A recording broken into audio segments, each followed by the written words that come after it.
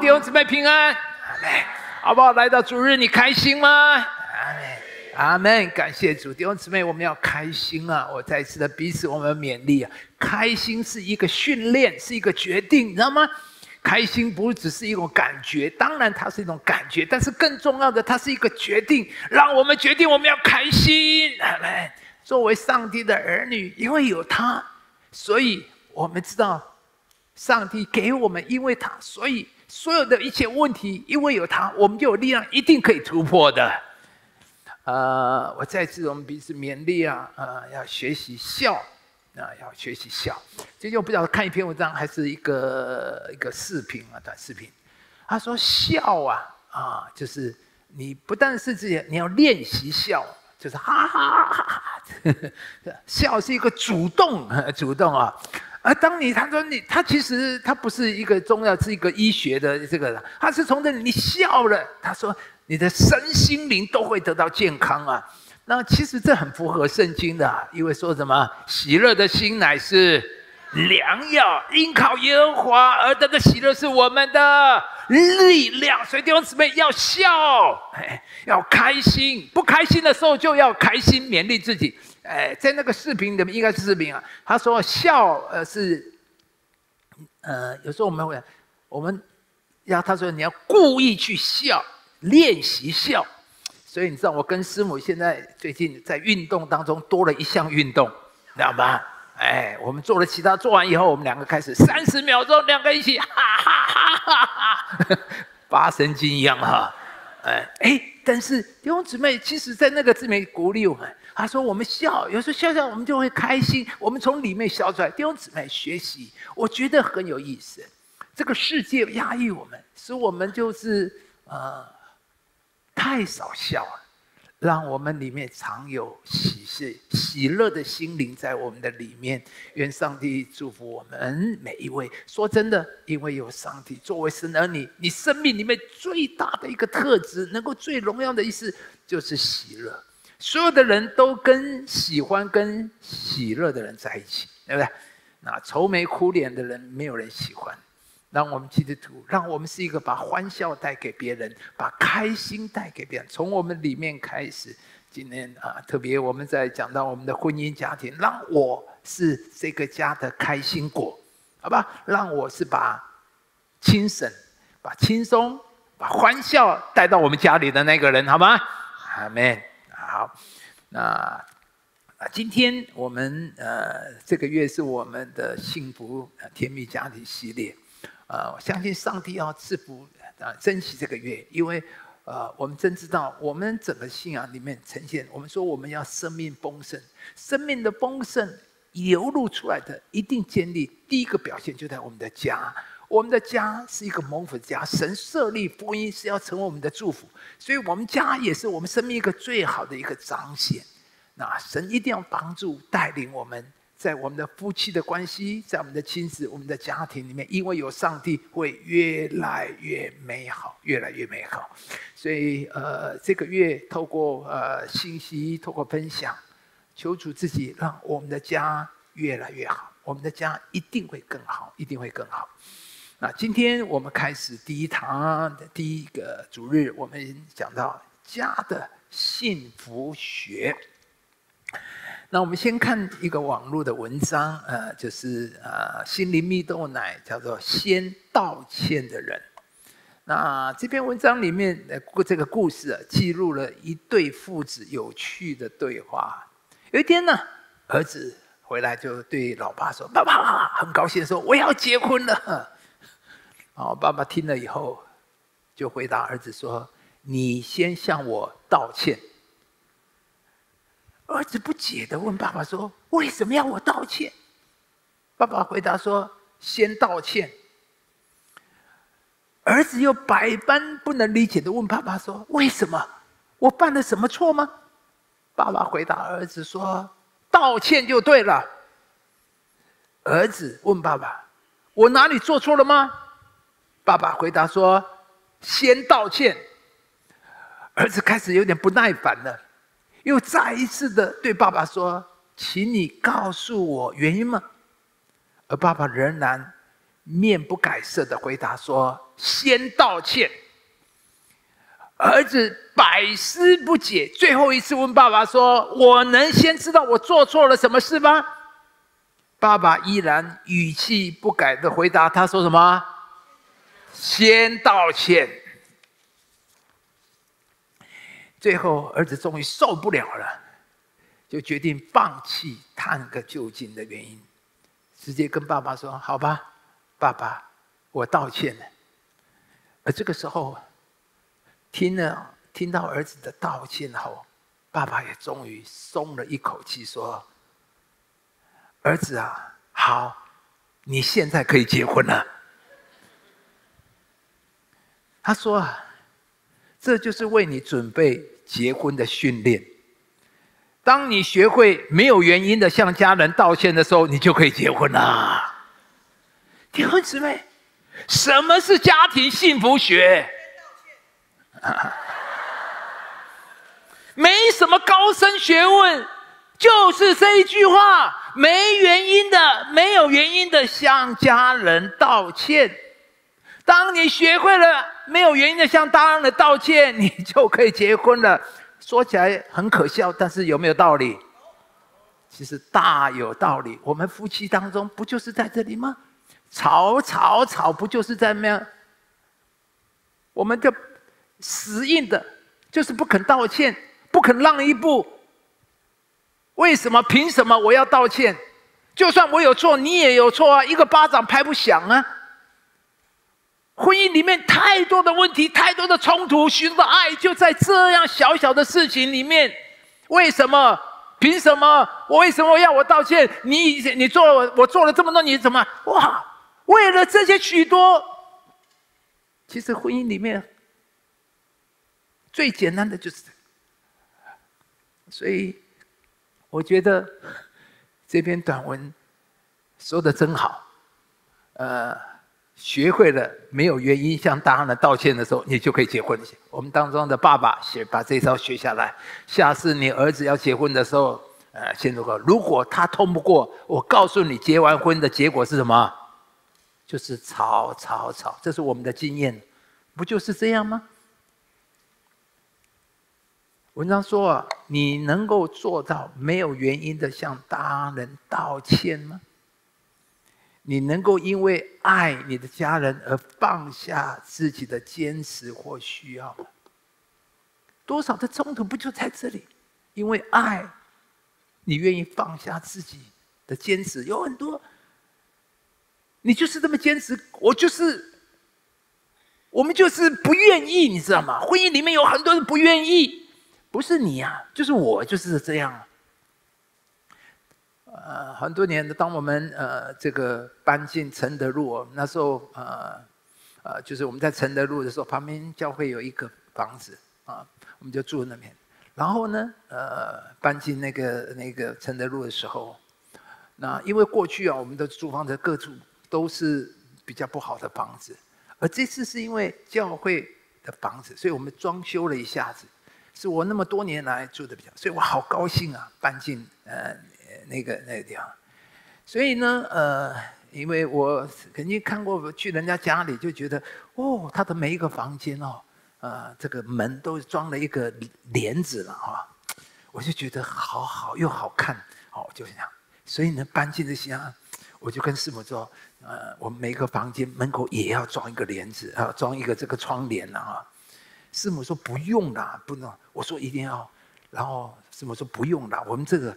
我说一一样，然后就为了这个窗帘哦，还没有搬去，我们两个就大吵一架，啊啊，大吵一架就啊，然后因为我一坚持要装窗帘，因为这是我的梦想，这是我的需要，哎，因为我很渴望哇，人家家就因为可已经十这么多年，就是都住的房子都是不是很旧啊，那那就刚好我就希望有一个啊，就希望做好一点，有一个帘子多好呢，所以他。他争不过我，最后我们就到特利和乐哈，中午就去买了一个伸缩棒，对不对？然后就买了一个帘子，我觉得好漂亮的，我就回来装了，好得意，好高兴的装了，你知道吗？过了两天，我又把它拿下来了，你知道为什么吗？觉得实在太麻烦了。每一次进去都要封这个帘子，出来又要弄帘子。我们家就我们两个人，装什么帘子？实在是真的是够麻烦的。后来我才收好，我就把它拿掉了。你看吧，其实就是我们的需要。为了这个，其实多少的婚姻就是为了这些小事，就把我们的爱都磨掉了。很多的伤害就在这里面。我们的爱情，我们的感情，我们的关系就这样的磨掉了，就是为了不必要，就是我们坚持我们的需要。事实上，真那个真的我需要这么坚持吗？其实是不需要。弟兄姊妹，会不会有很多你的坚持根本就是不需要的？过了两天，事实上证明呢，真的是不需要。但是就为了这个不需要的坚持。我们却会这么的伤，彼此间这么伤，你知道吗？争执的时候话语，我会觉得很伤。我这么一点你都不愿意，延伸出来的就是你不爱我，你不在乎我，你知道吗？开始演了很多戏在里面啊！都那么小的事情，有什么好争？你就让我一下不行吗？啊！你不能哦，夫妻之间呢，很多的故事，很多的戏就在里面演出来。其实有没有这些都是不需要的。后来师母把这个记了十几年，常常提出来。你看吧，你就是这样哈。你看，弟兄姊妹，能不能因为爱就放下？这是家的幸福学有什么大学问没有？没有，就在这里，就在这里。因为爱，你愿意放下你的坚持跟需要。我知道不容易啊，不是说我们今天听了，今天你很同意，对不对？啊，等一下，散会之后马上可以练习，马上就会有练习了。先没有原因的先道歉，等一下就知道了啊。等一下出去，今天下午到晚上很多机会让你学习，很多机会让你实现。没有原因的先道歉，这就是家庭幸福学，不需要什么大道理，这就是最宝贵的。讲了很多。没有爱，不愿意，什么都没有。讲的再多有什么用？其实我在讲，婚姻有很多就是在这枝枝节节、细细里面，我们彼此伤害，弄到最后，真的一点里面爱都没有了啊！而且很多都是没有必要的，好不好？愿上帝帮助我们。这个世界告诉我们，必须要努力捍卫自己的权益跟权利。连在婚姻里面，我们也在捍卫我们的权利。婚姻为什么？凭什么我要付出那么多？为什么是你不是我？不是你？在那里面，我们就必须为自己据理力争。在婚姻里面，我们还要争，还要公平，还要比较。但是有一句话说：“家是讲爱的地方，不是讲理的地方。”弟兄姊妹，记得下次你在讲理里面没有爱，就已经错了；在讲理的里面没有爱，就是错。爱一定是根基，爱是在里面。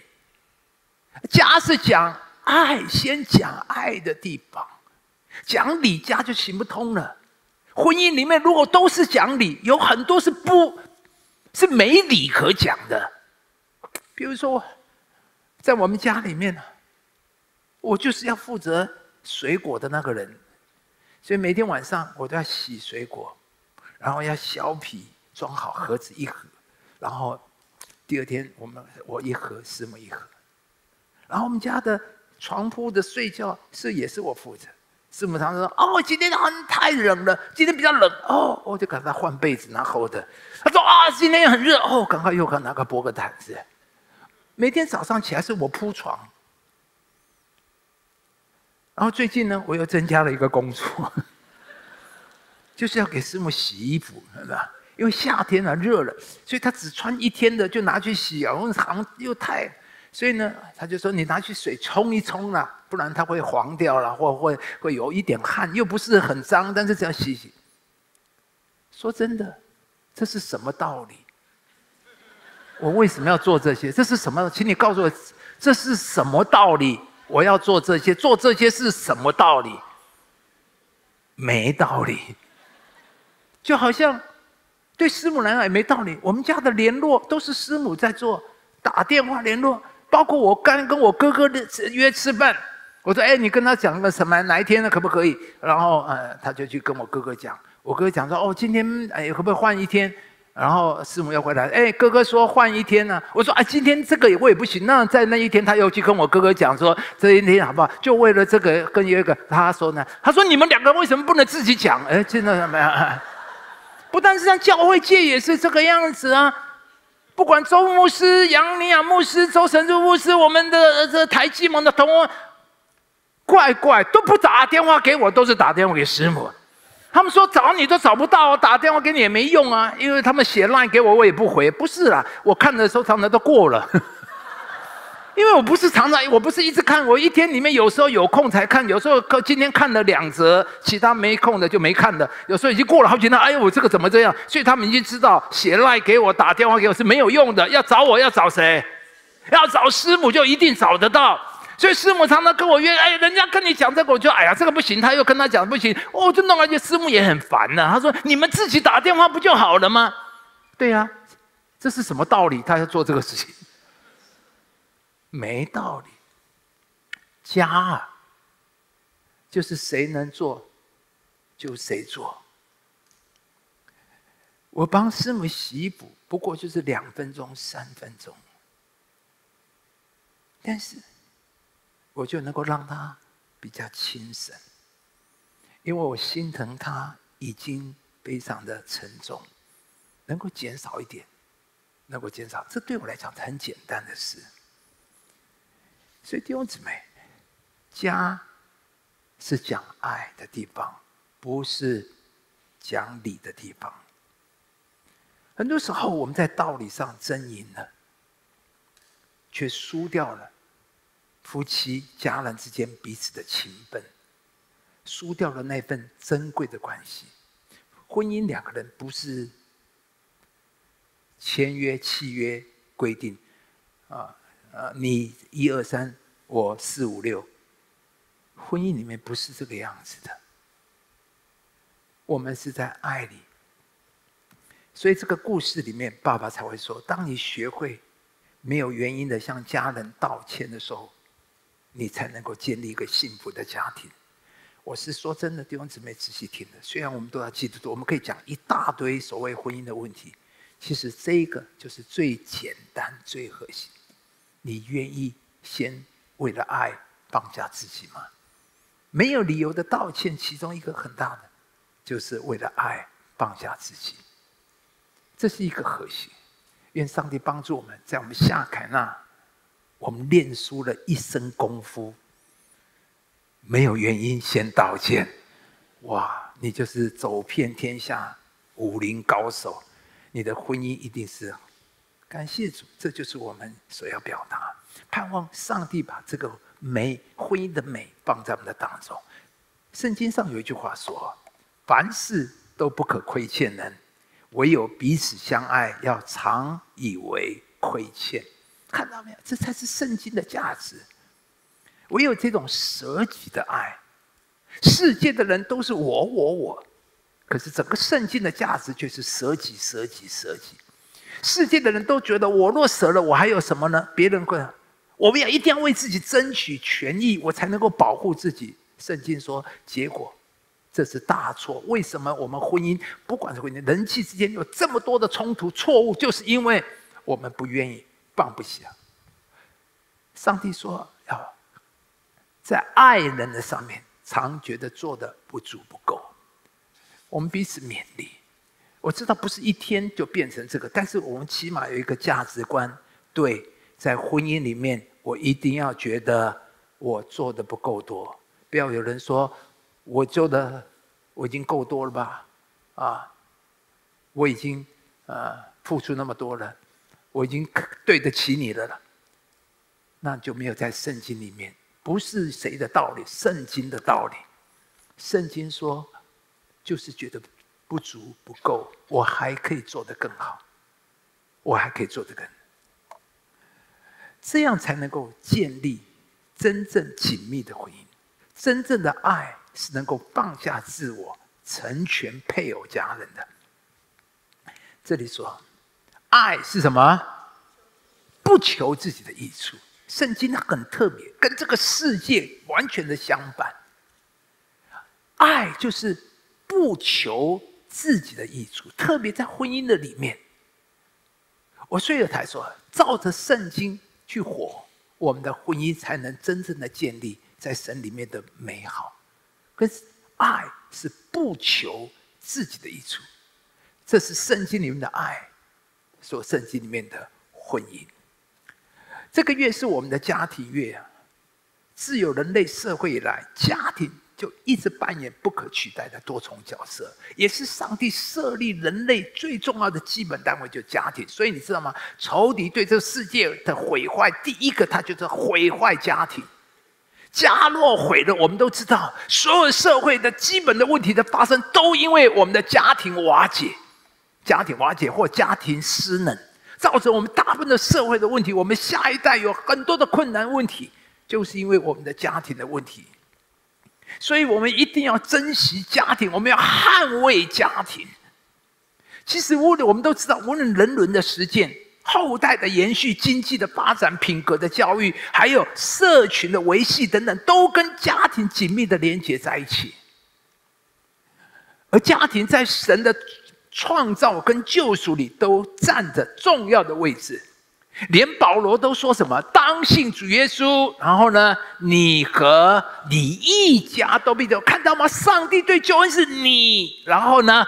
连到你家里面，所以上帝对一个人的救恩的里面，他的图画是一个家的。所以弟兄姊妹，我们要感谢主，我们也要相信，你要期待，一直为你的全家得救来祷告，一直要祷告里面宣告我，我和我家都必得救。至于我和我的家，要一生侍奉耶和华。让我们常常为我们的家的祷告的图画就是这个样子。你一定要宣告。为你家画一幅图画，我和我一家都必得救。我和我一家一生都要侍奉耶和华。让你要画，不管的儿女现在在哪里，是不是？你就是要坚持上帝能做你不能做的事情。所以我盼望让我们一起看到，而我们的主耶稣道成肉身，他是生长在一个正常健康的家庭里面。有父母细心的照顾，有弟弟妹妹一起成长。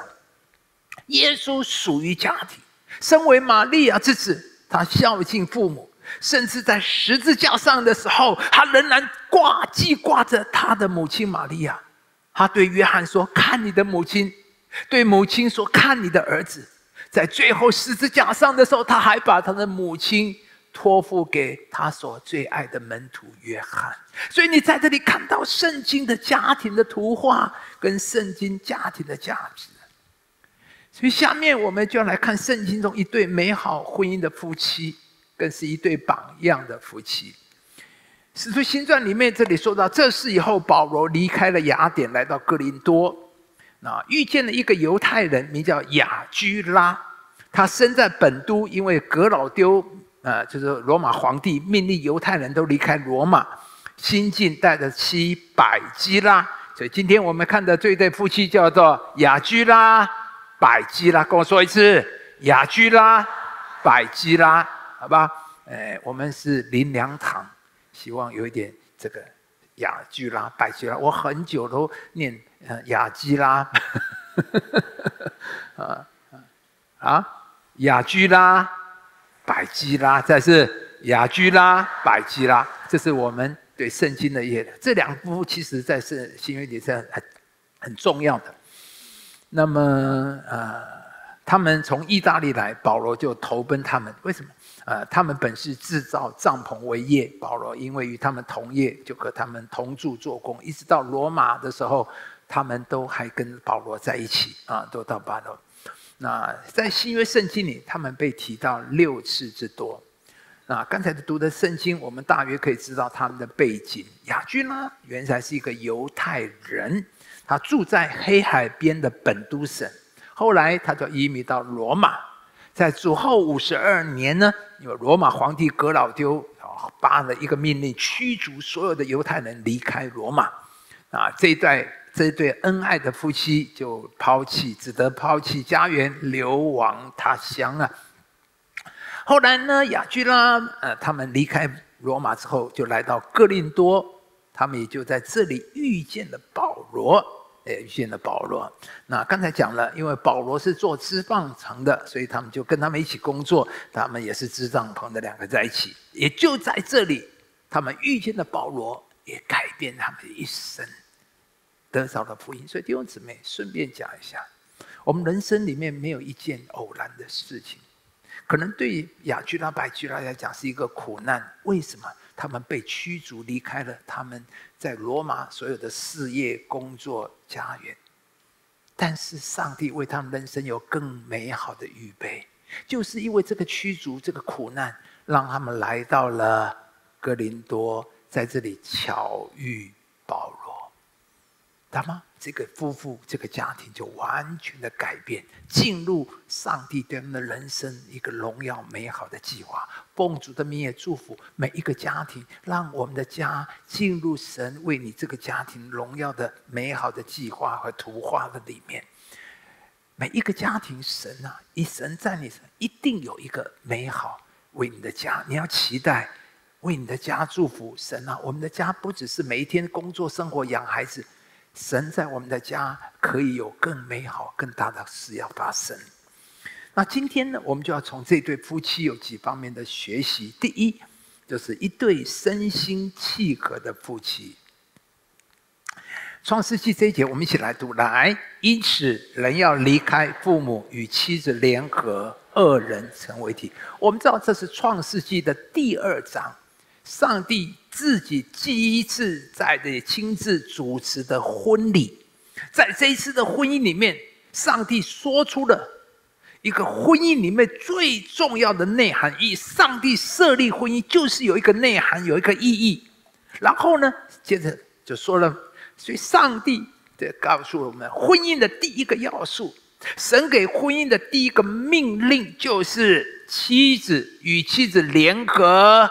二人成为一体，所以婚姻是什么意思？婚姻就是两人成为一体，成为一体。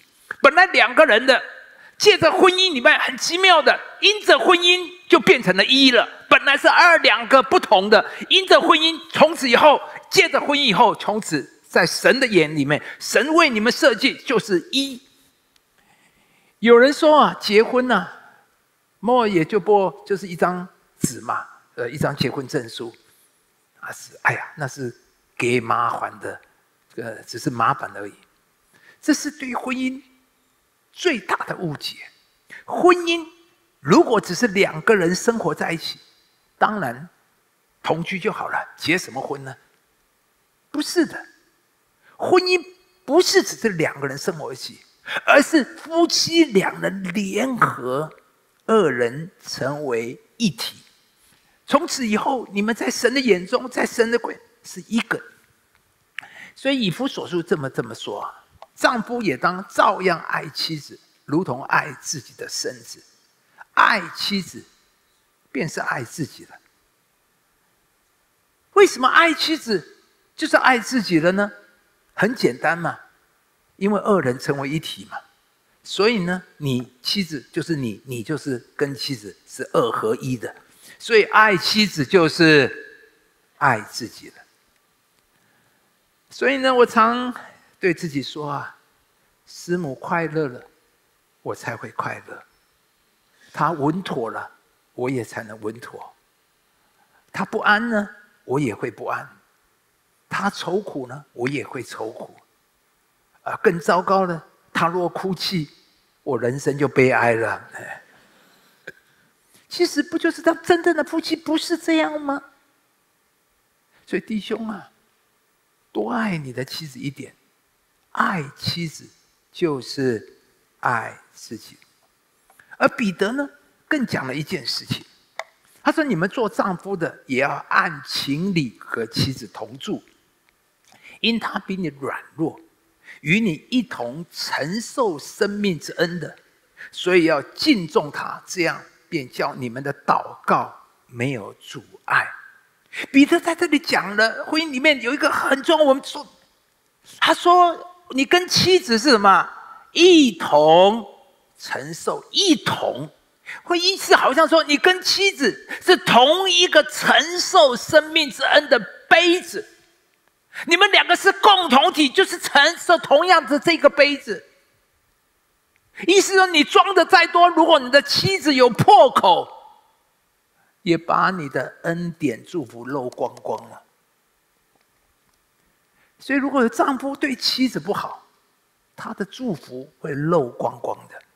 但是相反的，如果你跟妻子一起把这个生命之恩的杯子做大，那你承受的恩典跟祝福，不就也就变大了吗？这就是。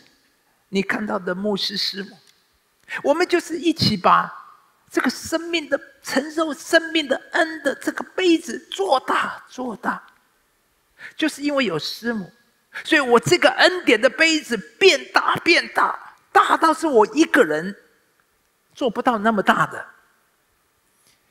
所以我一生我所承受的丰盛恩典，我所成就的事工啊。是我一个人不可能有的，是因为有师母，我们一起才能够有这样的规模。所以弟兄啊，要好好珍惜你的妻子，夫妻同心啊，你人生才会有夫妻一起才会有的那个规模。所以真言这么说啊，你看一下，她一生。使丈夫有益无损。在这里提醒每位姐妹，你是多么的重要，你是这个家庭的关键。你要勉励自己，我是非常有价值的，在这个家我是关键。我一生的存在会使我的丈夫有益而无损。圣经讲到说，这个丈夫怎么样？一生倚靠他。你的神设计的神当年看到说亚当神创造夏娃什么，是来帮助他的。所以弟兄啊，你知道吗？你需要妻子的帮助，你的妻子对你是非常重要。有他的帮助，没他的帮助是完全不一样的。上帝设计你的婚姻，就是让你的妻子来帮助你。而妻子，你的存在，你占领了一个重要的角色，就是你是这个家的关键。这个家是因着你。你的丈夫才会能够被抬举，而因着这个妻子，这里说什么？这里讲到了她的丈夫啊，在城门口与本地的长老同坐，为众人认识。因着这个妻子的帮助。使得这个长，使这个男人到了一个位阶，跟一个规模，是他自己做不到的。他的妻子给他架了一个梯子。每一个弟兄啊，你一定要知道，圣经的设计是这样，上帝设计的婚姻是这样的。你的妻子是非常重要，那个梯子让你能够爬上去，你不可能到的高度，你不可能有的幸福，是上帝使你的婚姻能够达到这样。如果你把你的妻子把你的那个梯子打坏掉了，或者踢倒了，那是你是会倒下来的。这就是神设计的婚姻。那你说，那我们妻子是什么呢？就是帮助丈夫做城门口。那我呢是什么呢？圣经里面，你看看这他说：“愿他享受操作所得的，然后愿他工的工作。”在哪里？城门口荣耀他，看到没有？每位做妻子的，当你把你的丈夫成为他的夫子，到那门口，反过来，所有的东西通通会回到你身上。你所做的一切，最后会在哪里荣耀你？在城门口荣耀你。哎呀，我觉得神设计的婚姻实在太美妙了，就是。两个人在一起是双赢，是全家都赢。当我们懂得，当一个妻子懂得，知道成为丈夫的祝福，成为丈夫的益处，扶持丈夫，陪伴丈夫，成为丈夫的后盾，甚至成为丈夫的那个梯子，她的丈夫会不断提升到一个男人啊，没有你的妻子所达不到的那个规模和位阶，而最后回头过来，这一切都要回报在做妻子的身上，也会在城门口来荣耀你。我们感谢主，弟兄姊妹，神设计的婚姻就是这么的好，双赢，全家都赢，夫妻同心相爱，这就是上帝所设计的婚姻，双赢，全家都赢。所以彼得劝勉做丈夫的，聪明一点，要敬重你的丈夫，敬重你的妻子，不要轻视她。不要轻看他，不要让他流泪，不要让他难受，让他，他是你人生的台阶，你知道吗？是上帝使你借着他帮助你，能够人生到一个你不能有的位阶里面，好让有一天你会坐在城门口与长老同坐。所以愿上帝帮助我们。神设立的婚姻就是最美，而做妻子的，你一定要去成全，要明白神设计的里面，不要一直想我我我。那我的事业呢？我的人生呢？错了，你的事业、人生跟你的丈夫是连在一起的。你的人生，我不是说你们的工作一定要一样，不，但是你的心灵态度是如此。我们两个人是一起来建造这个家，结果呢，丈夫在城门口与长老同坐，而你呢？你所做的，在城门口要荣耀你，多好！这才是神要我祝福、盼望下凯那每一个家庭、每一个婚姻都是这么美好，进入上帝所设计的那个美好的婚姻的结果的里面。所以记得，神设立的婚姻就是夫妻联合，二人成为一体。你和妻子是一同承受生命之恩的，爱妻子的就是。爱自己。那话说回来，今天呃，我牧师，因为我是一个弟兄，是一个做丈夫的，所以我讲起来好像都是劝勉要做丈夫的对妻子。其实一样，妻子你也要珍惜你的丈夫，就是神设立来爱你、跟你一起走一生的那个人。你要尊荣你的丈夫。呃，有那句话我曾经讲过，你的丈夫啊，是跟着你的尊荣而上上下下。啊，你的丈夫就好像那个软木塞一样，你呢？你的尊荣就是在这个水桶里面加水，你加多少水，那个软木塞就会升多高。你不要一直嫌它为什么都没出息，你为什么不坚定？你为什么不吃？你不不不一直骂，他就越低越低越低，因为那一桶水没水了，所以你的丈夫就很低落。可是你如果鼓励他，鼓励看看，你知道师母常跟我讲说，群茂没有什么是你不能的哦，没有什么的。他说：“我跟你在一起那么多年的，那么多年没有什么你不会的，你都会啊！不会也要变会了，因为有人说我都会嘛，对不对？所以你看我都会，我没有什么怕的，没有在怕的，都在会了。因为太太说我都会啊，对啊。妻子你要鼓励你的丈夫，你越鼓励他，越夸奖他，他就越升得越高啊！你如果贬义他，他就他就小红起啊，明白没有？”男人很软弱的，你知道吗？师母昨天去呃礼拜几去桃园，呃跟一百多位传道人家分享，他们讲说夫妻两个人呃。角色有什么不一样啊？在同样一个教会里面，因为我们都是牧者，牧者大部分都是夫妻在一个教会。你知道？两个人同样的教夫妻是很难的，有很多的角色的问题。夫妻在家是夫妻，在教会里面，呃呃呃，是主任牧师跟什么不知道。所以我们呃我们我们林良堂的传统都是师母才是真正的主任牧师，实际上的主任牧师。那么呃呃呃，这个呃呃丈夫呢都是。名目上的主任牧师这个样子，他什么时候叫我做主任牧师，我就是；什么时候我不是主任牧师，他说不是，我就不是这个样子。啊，这林良堂都是这样，难怪林良堂都这么兴旺，你知道吗？林良堂都是这么兴旺的原因，其中一个就是这样。这就是我们的角色。所以师母要讲，他漏了，跟常常讲漏。他说：“这个呃，牧师哦，每次讲完道。”啊，晚上回家都一直问我，我讲的好不好啊？你要夸奖我一下嘛。每一天没事啊，呢，丢啊，牧师讲道讲了四十年，在外面多好评呢。但是你知道我还是多么脆弱，你知道吗？还是多么渴望太太能够欣赏我一下。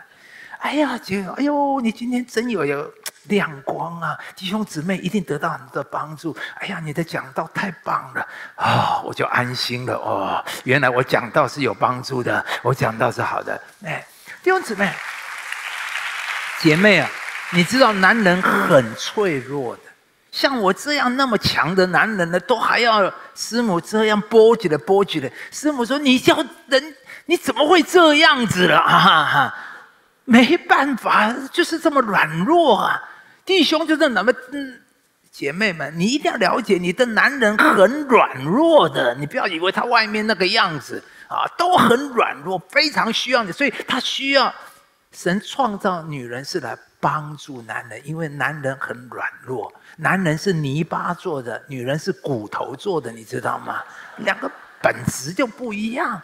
这个男人就能够学这个样子啊，女人是哦，这很厉害的啊，女人是打不死、打不败，为母则强。再怎么样，女人哦，这一定撑得住这个家，她怎么样撑得住？男人就跑掉了，这样啊，所以要鼓励。但今天虽然牧师这样讲，所以提醒大家啊，我们夫妻是一样的。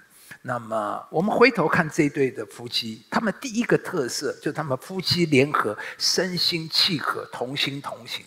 圣经提到他们六次，每一次他们的名字同时出现，他们一起生活，一起支帐篷，一起学习，一起服侍，一起献身。这种深度的联合，正是婚姻的内涵，也是成功婚姻的第一个要素。今天很多的婚姻就在于的悲剧，就在于没有这种夫妻的联合、身心的契合。有人说啊，东方的家庭的观念是着重下一代，西方的家庭是观念着重下一代。但是上帝给人类的第一个婚礼所着重的，不是上一代，也不是下一代，而是这一代。圣经以这一代才是家庭的基石，所以有一本书上说，神给家庭的第一道命令，不是当孝敬父母上一代，也不是下，也不是你们要生养众多遍满地面的下一代，而是因此人要离开父母，与妻子联合，二人成为一体。所以你一定要记得，婚姻的第一个要素就是妻子联合，二人成为一体，而当然联合。不只是讲到距离在一起，有人住在一起，可是却同床异梦，没有真正的联合和亲密。婚姻的一个大的问题就是变成了平淡。你知道，很多的婚姻的问题里面变成了只有冲突，没有爱了，失去了爱，好像那个酒没有酒了，只剩下水。婚姻里面、生活里面都是平淡如水。结婚越久，好像爱就越平淡，生活越来越平淡。所以有人说，婚姻把美丽的爱情变成了生现实生活。这从一个角度是是描述是对，但是也也不是也也不对的。婚姻里面就在平时现实生活里面充满了爱，这才是神设计的婚姻。就在婚姻里面，就像牧师刚才讲的，我替师母洗衣服，他替我打电话，这个就是生活里面充满了爱。是吗？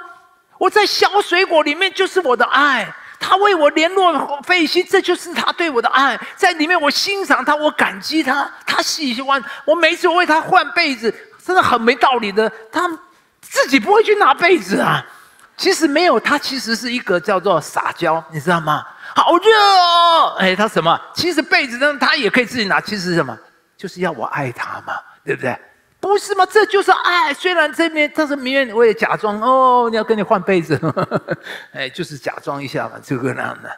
其实这这夫妻里面，就是婚姻里面彼此之间在一起。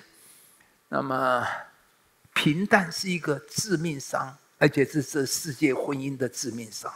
所以联合报有一个呃几个企业家聚在一起，后来里面有一个企业界的大佬感慨的说啊。他说：“结婚前三年，太太是娇妻啊；到了第六年，太太只是亲戚；第九年，太太成了一件家具，看着习惯而已。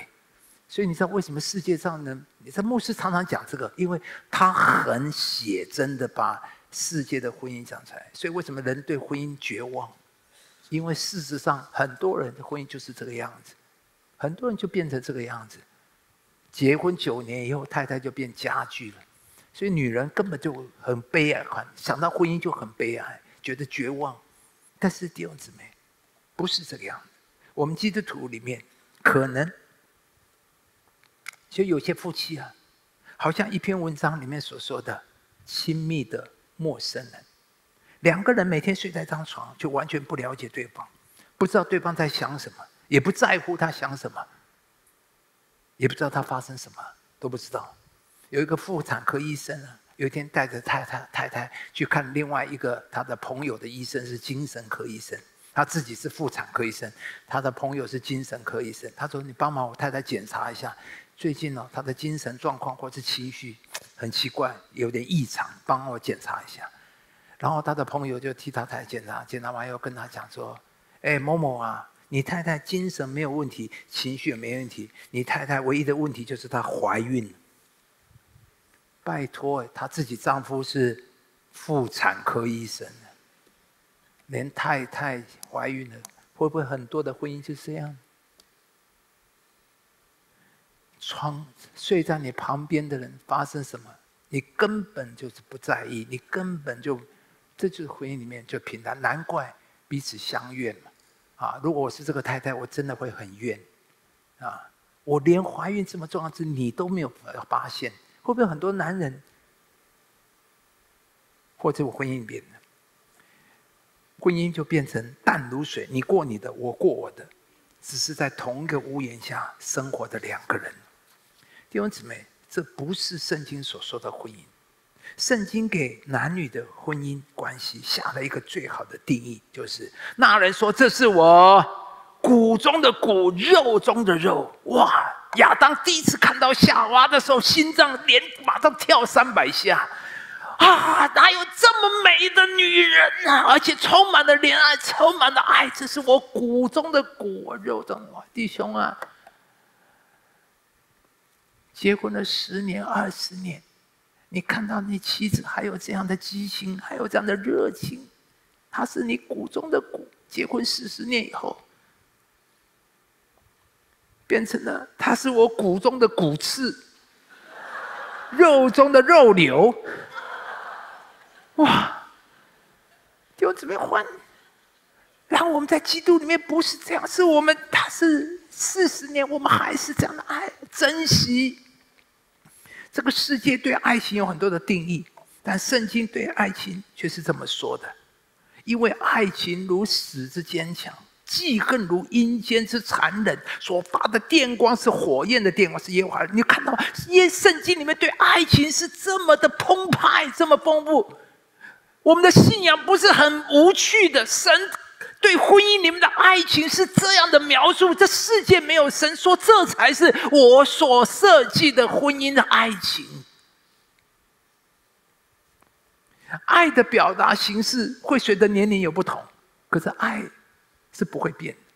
年轻人的恋爱是电光火石，节奏轻快。牧师也年轻过，而老年夫妻几十年的同甘共苦，两眼相看，充满的是对对方的怜惜和感激啊！我告诉你，年老见到夫妻的那个情感，不是年轻夫妻可以了解的。走过这几十年，看着师母很深的眉头，师母的这个眉头非常的深。我从来不是会觉得她不美，或是老了，而是感谢跟感激。过去四十年，多少的惊涛骇浪，多少次都要灭顶，都是他陪伴我走过每一个死因的幽谷。这个这么深的眉头就是这样来的，这么深的眉头，就是正表示。显出了他爱我、爱这个家的记号，所以我只有感谢跟感激呀。一本书里面讲到一对老夫妇，老太太得了老年痴呆，不能行动，也不能表达感情。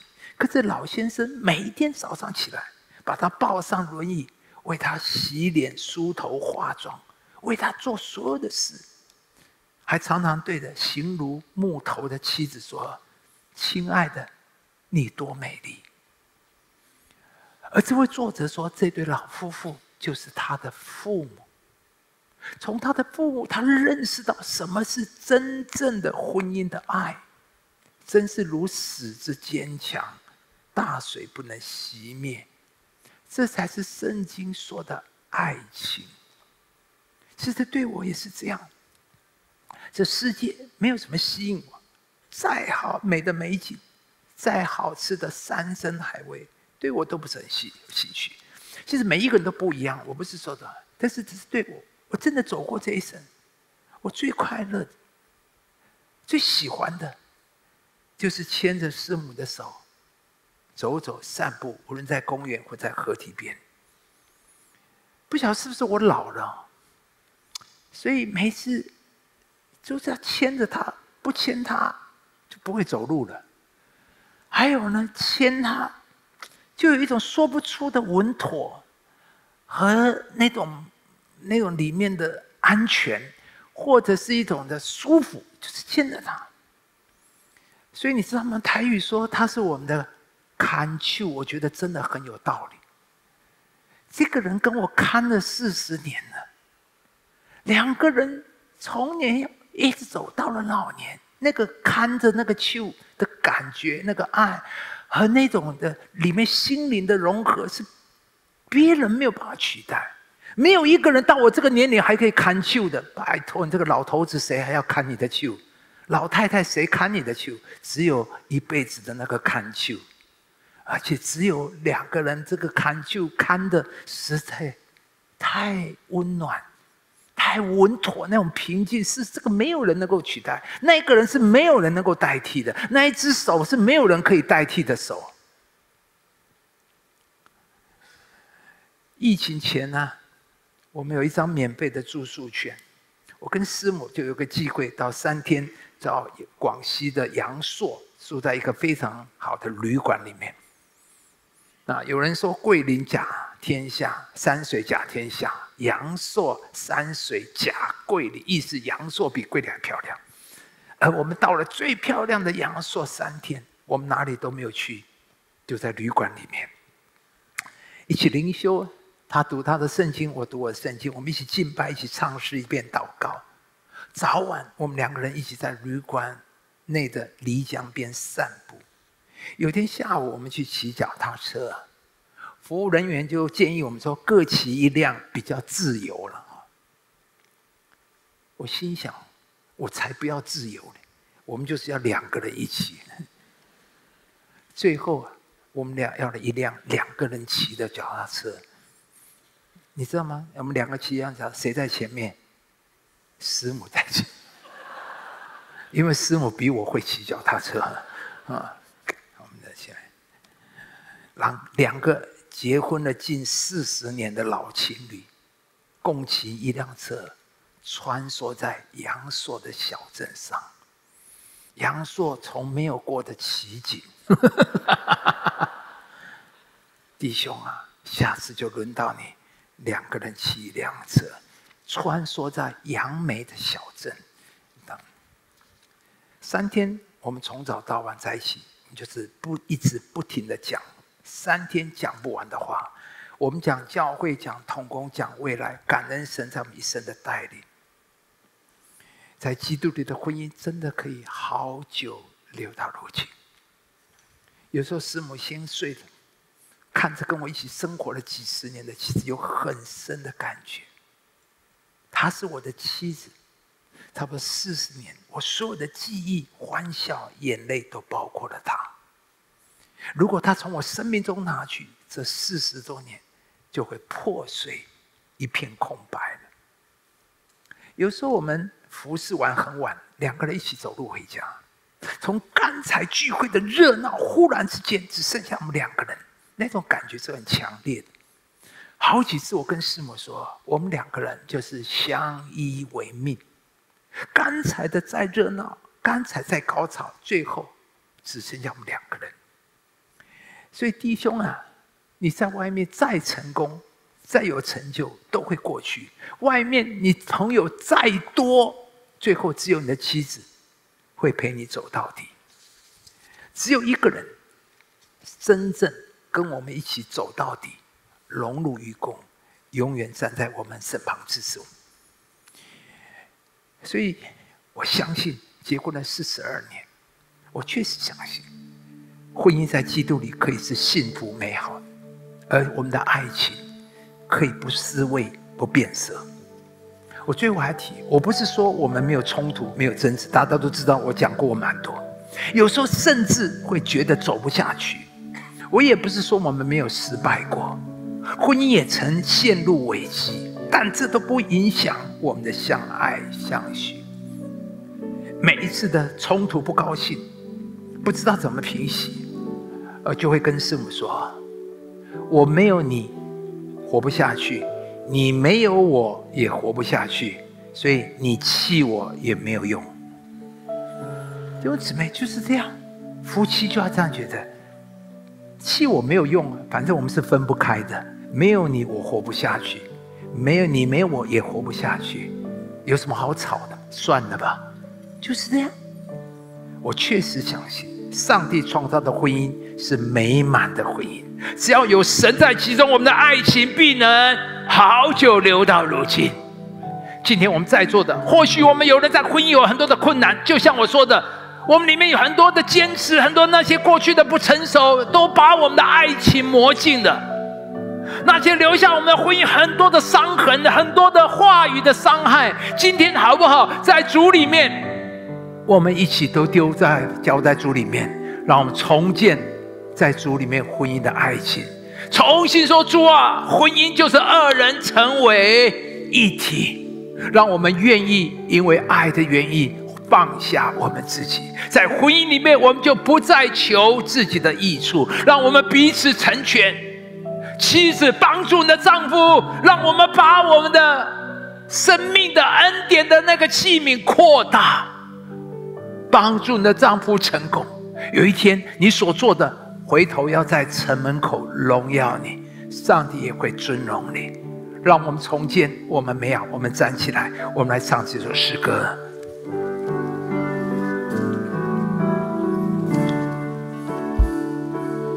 你和我是天父爱的创造，每个人都有最美的梦让我们一起在。婚姻里面一起做美梦，让我们夫妻两个人彼此扶持，彼此拥抱。我们的爱让世界不一样。从头再次说，你和我，你和我，就是我们两个在婚姻的里面，两个人共同的。让我们一起在主里面一起来做梦。梦想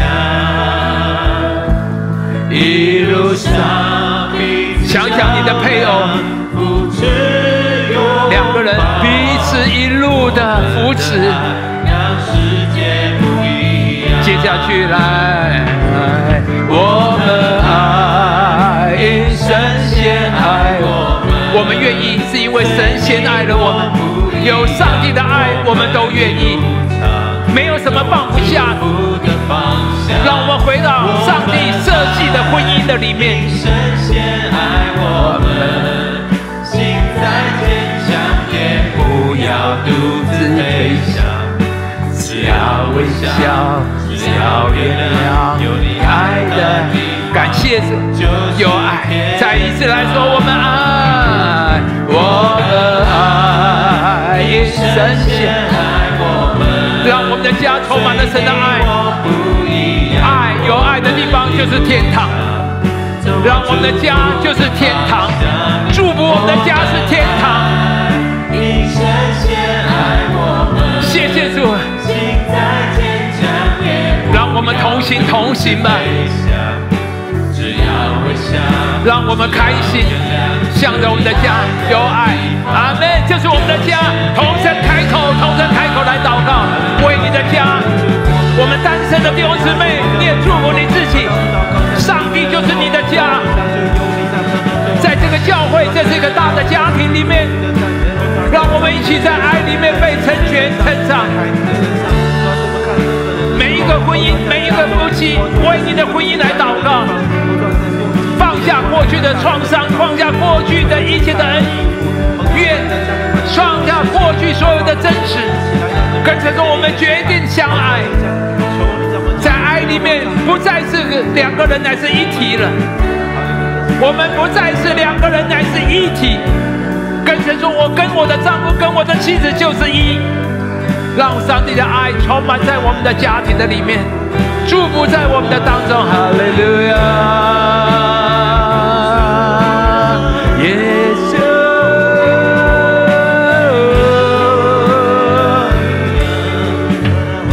家就是天堂，不再是争吵。主啊，我感谢仇敌定义要毁坏。